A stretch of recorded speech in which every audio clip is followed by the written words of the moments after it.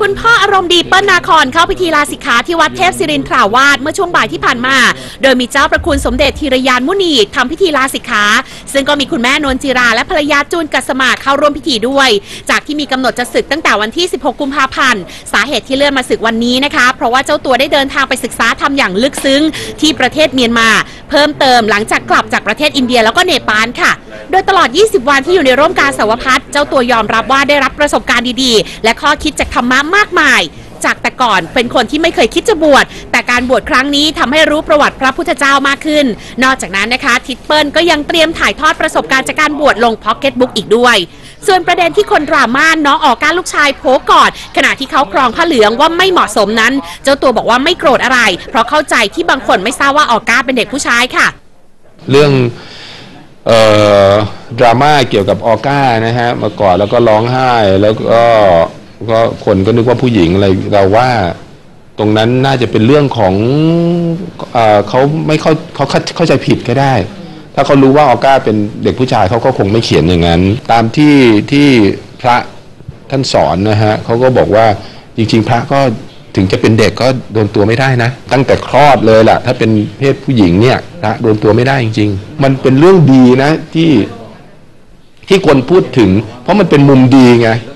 ของพระไงเพราะที่ผ่านมามันมันเรื่องไม่ดีมันออกมาตลอดเลย พอเป็นเรื่องสวยงามเงี้ยเพราะฉะนั้น โอ้โห แชร์กันเข้าไปเถอะ ส่วนกรณีที่นักแสดงหนุ่มฮัทจิรวิทย์เขียนข้อความบนหลักแบ่งเขตแดนไทยซอปปลาว บนยอดดอยภูชี้ดาวจังหวัดเชียงราย จนถูกกระแสวิจารณ์กระหน่ำโซเชียลว่า เป็นพฤติกรรมที่ไม่เหมาะสม แถมยังกล่าวอ้างว่านายลาวเฮอร์ยอดมณีบรรพตผู้ใหญ่บ้านบ้านร่มโพธิ์เงิน อนุญาตให้เขียน ล่าสุดหนุ่มฮัทได้เดินทางเข้าพื้นที่เพื่อขอโทษนายลาวเฮอร์แล้ว โดยมีนายทวีศักดิ์ยอดมณีบรรพตกำนันตำบลปอเดินทางมาเป็นตัวกลางในการไกล่เกลี่ยข้อเท็จจริงที่เกิดขึ้น ก่อนที่จะนำสีสเปรย์พ่นสีลบข้อความที่เขียนไว้ พร้อมยังได้มอบซีดีไฟล์ภาพวิวทิวทัศน์ต่างๆ ที่ตัวเองถ่ายไว้เมื่อวันที่ 12 กุมภาพันธ์ ซึ่งเป็นวันที่มีการเขียนข้อความดังกล่าวให้กับทางชุมชน เพื่อใช้ในการโปรโมทแหล่งท่องเที่ยวแห่งนี้ต่อไปค่ะโดยฮัทกล่าวยอมรับผิดว่าสิ่งที่เกิดขึ้นมาจากความรู้เท่าไม่ถึงการของตัวเอง เนื่องจากอารมณ์พาไป ซึ่งเขาก็ไม่คิดว่าเหตุการณ์จะใหญ่โตแล้วก็บานปลายเช่นนี้ แต่ก็ยอมรับผิดทุกอย่าง รวมไปถึงการกล่าวอ้างว่าทางผู้ใหญ่บ้านและทางหมู่บ้านบอกให้เขียนด้วยว่าไม่เป็นความจริงค่ะ ครับก็นนี้ฮัทก็ตั้งใจนะครับเอาสีมาพ่นนะครับ ในสิ่งที่ฮัทได้เขียนลงไป แล้วก็จะมากราบขอโทษนะครับพ่อหลวงอีกอีกครั้งหนึ่งนะครับขอโทษจริงๆนะครับการการรู้สึกเสียใจมากนะครับ แล้วก็สำผิดนะครับ ในสิ่งที่ได้ทำไปนะครับ ที่ต้องทำให้พ่อหลวงเดือดร้อนนะครับ บทเรียนในครั้งนี้นะฮะซึ่งก็คงไม่มีวันลืม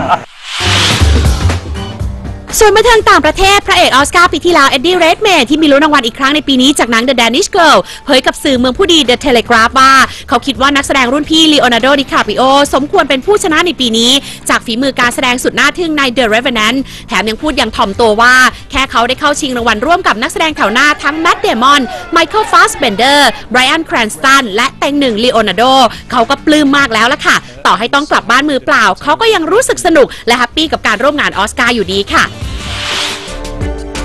ปิดท้ายด้วยผลดีจากการแชร์ตัวเองว่าติดเชื้อ HIV ของพระเอกรุ่นใหญ่ชาลีชีน เมื่อมหาวิทยาลัยในซานดิเอโกสหรัฐอเมริกาสำรวจพบว่า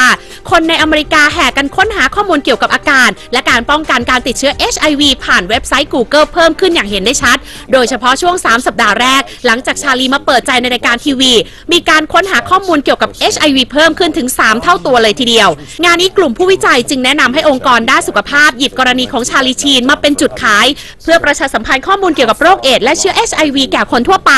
ก่อนหน้านี้นะคะโรคเอดส์ก็กลายเป็นที่สนใจของผู้คนไม่น้อย หลังนักบาสระดับตำนานเมจิกจอห์นสันยอมรับว่าติดเอดส์เมื่อปี 1991 เพียงแต่ตอนนั้นยังไม่มีอินเทอร์เน็ตนั่นเองค่ะ